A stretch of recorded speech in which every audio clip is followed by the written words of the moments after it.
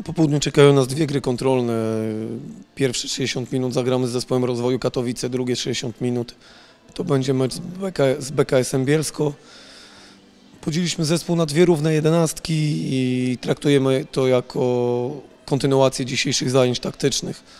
Mm, Mamy nadzieję na zrealizowanie tego, co zaplanowaliśmy sobie i żeby w tym ciężkim momencie obyło się bez kontuzji odpukać. Oczywiście założenie jest proste, chcemy każdy kolejny mecz wygrywać i mamy nadzieję, że uda nam się dzisiaj to, te wyniki uzyskać.